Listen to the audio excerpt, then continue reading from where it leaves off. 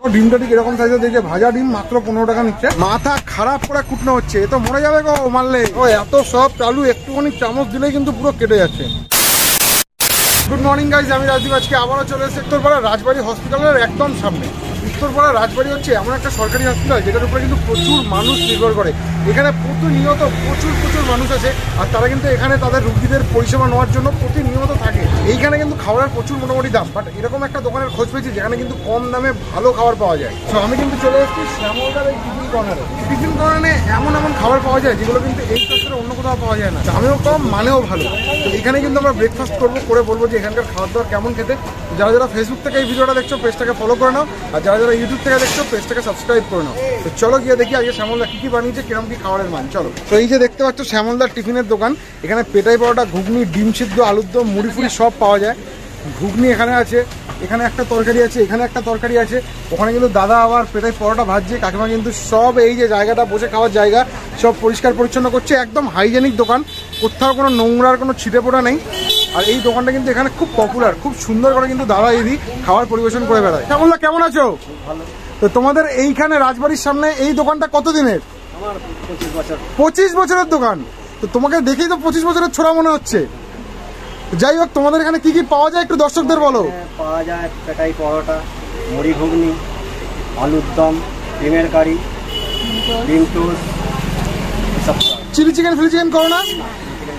তোমাদের দোকান সকাল কটায় খোলে? আমার সাড়ে সাতটা থেকে খাবার চলে যায়। আর কটা অবধি চলে? ওই একটা। দ- রাত্রিবেলা খোলো না? আর কোনোদিনও বন্ধ থাকে দোকান? কবে? এমনি দিনে কোনো বন্ধ নেই? এমনি আমার কোনো ডেট নেই যে আর তোমার দোকানে পার ডে কত লোক মোটামুটি খেতে আসে?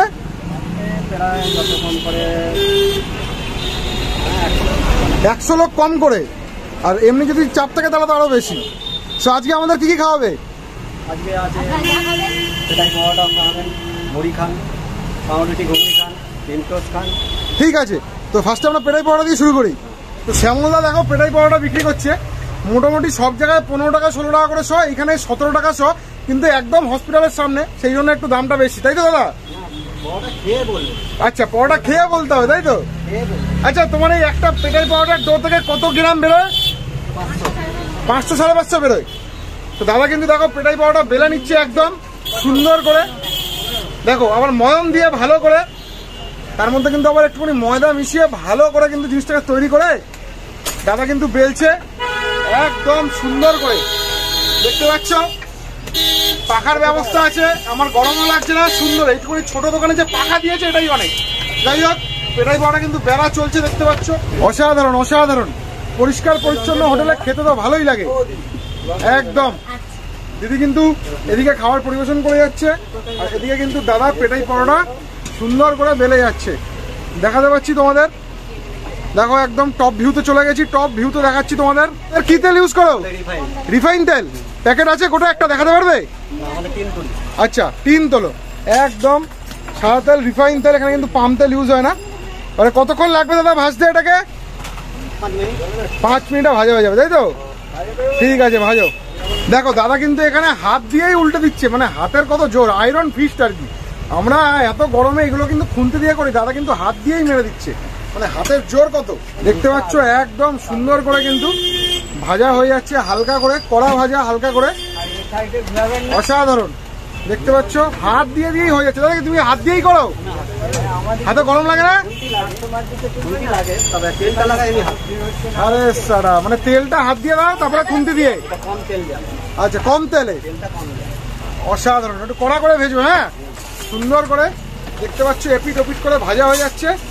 অলমোস্ট কিন্তু আমাদের ভাজা রেডি সুন্দর করে কড়া করে হালকা করে ভাজা হচ্ছে, তাই তো দাদা? তো আমাদের পেটাই পাওয়াটা একদম রেডি হয়ে গেছে, তাই তো? এবার এটাকে কুস্তি হবে? অসাধারণ লাগছে। এরপরে কিন্তু দাদা হাত দিয়ে নামিয়ে নিলে এবারে দেখো, এবারে কুটা হচ্ছে, দেখো। একদম মাথা খারাপ করে কুটনো হচ্ছে। এ তো মরে যাবে গো, মারলে। বাপরে বাপ, মারতে মারতে হালুয়া টাইট যাই হোক, আমাদের মাল রেডি হয়ে গেছে। তো দাদা, আমাদের দেড়শো দেবে। তো দিদি আমাকে দিয়ে দিন দেড়শো। একদম দেড়শো পেটাই পাওয়াটা চলে যাচ্ছে। তাই তো? সঙ্গে কিন্তু আমাকে তিন ধরনের সবজি দেবে। ঠিক আছে? বাটিতে বাটিতে। এই দেখো এটা ডিম চলে গেল এটা আলুর দম চলে গেল আর এটা ঘুগনি। একটুখানি স্যালাড থাকলে দিয়ে দাও। তো আমাদের কিন্তু প্ল্যাটার চলে এসছে দেখতে পাচ্ছ। প্রচণ্ড ট্রাফিক আওয়াজ তো হবেই। সেগুলোকে নজর আন্দাজ করে ফার্স্টে আমরা দেখাই পেটাই পরোটা। দেড়শো পেটাই পরোটার দাম হচ্ছে পঁচিশ টাকা। দেখতে পাচ্ছ একদম ঝুড়ু ঝুড়ু পেটাই পরোটা। সব থেকে বড় কথা তেল একদমই কম। অন্যান্য যে পেটাই পাউডার আমি দেখি তেল একদম চুপচুপে থাকে, দাম কম, কিন্তু এখানে দামটা হয়তো দু তিন টাকা বেশি শয়ে বাট কিন্তু তেল একদমই কম। আমি দেখাতে পাচ্ছি তোমাদের, একটুও কিন্তু তেল নেই হাতে। দেখো, একটুও তেল নেই। তো শুধু একটু পেটাই পরোটা খেয়ে বলি।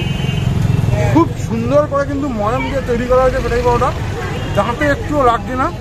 খুব সুন্দর টেস্ট মিষ্টি মিষ্টি একটা লাগছে। যেরকম বাড়িতে পরোটা খাই ঠিক সেরকম। আমি বলব সতেরো টাকা অনুযায়ী জাস্টিফাইড। উত্তরপাড়ার মতো এলাকা। সামনে হসপিটাল একটু দু এক টাকা দাম কম বেশি হতেই পারে। আমি বলব জাস্টিফাই আর সব থেকে বড় কথাটা পেটাই পাউডার দেখো। অন্যান্য পেটাই পাউডারগুলো কীরকম ঝুরঝুরে থাকে না। দেখো, একদম ঝুরঝুরে। দেখতে পাচ্ছ? শুধু ভাই, এত সুন্দর টেস্ট পেটাই মনে হচ্ছে শুধু শুধুই খাওয়া যাবে। ঘুগনিটা দেখাই। এর সঙ্গে কিন্তু ছোলা মটরের ঘুগনি দিয়েছে। আলুও ফালুও সবই আছে এর মধ্যে, খেয়ে বলি। ঘুগনিটাও একদম হালকা। সব থেকে বড় কথা, পেঁয়াজ, লঙ্কা একটা মশলা দিয়ে দেওয়াতে না? ঘুগনিটার মধ্যে আরও টেস্ট হচ্ছে। আর এখানে কিন্তু ঘুগনি আনলিমিটেড তুমি যদি ঘুগনি দুবার, তিনবার চাও, তুমি কিন্তু ঘুগনি পাবে। সঙ্গে কিন্তু আলুর দম আছে। দু পিস এরকম জাম্বো সাইজের আলুর দম দশ টাকা নিয়েছে। একটুখানি পেটাই পরোটা দিয়ে। শুধু একটুখানি আলুর দমটা খাই। তো প্রথমে একটুখানি পেটাই পরোটা, ঝোল দিয়ে খেয়ে বলি যে কেমন। এলাচ পেলাচ সব দেওয়া আছে, ঝোল দিয়ে। অ্যাকচুয়ালি আলুর দমটা পুরো মনে হচ্ছে বাড়ির তৈরি করা। কোনো রকম কোনো মশলা নেই, কিচ্ছু নেই, একদম হালকা। আমি দেখাতে বলব তোমাদের। এই হচ্ছে আলু। দেখো, এত সব আলু, একটুখানি চামচ দিলেই কিন্তু পুরো কেটে যাচ্ছে। ঠিক জিরে ফিরে সব দিয়ে তৈরি করা হয়েছে। আলুর দম ঘুগনি দুটোই একদম টপ ক্লাস কাদের এক টাকাও কম নাম্বার দিতে পারব না। আলুর দমটা তো আমার ফাটাফাটি লাগল। ডিমটা দেখাই। ডিমের কাইটা দেখো, এত সুন্দর হয়েছে। মনে হচ্ছে যেন ডিমের কাইটা দিয়ে সব খেয়ে নিই আর আমার ক্যামেরা ওই করে কি আছে, সে বলছে, আমাকে দাও, আমি খাব। আমি না বাবা, আজকে তোমাকে দেবো না, আজকে আমি একাই খাব। ডিমের কাইটা অসাধারণ। আর এখানে দেখো ডিমটা ঠিক এরকম সাইজের দিয়েছে ভাজা ডিম মাত্র পনেরো টাকা নিচ্ছে। খুলি একটুখানি। ও হো হো। হো সেমি বয়েল ডিম, বেশ ভালো লাগে। ডিমটা জাস্ট স্মুথ প্রত্যেকটা রান্নাই একদম টপ ক্লাস ওই হচ্ছে দোকানটা, দেখতে পাচ্ছ? কত ভিড়। তোমরা দেখো টোটো দাঁড় করিয়ে লোক কিন্তু খাবার কিনছেন।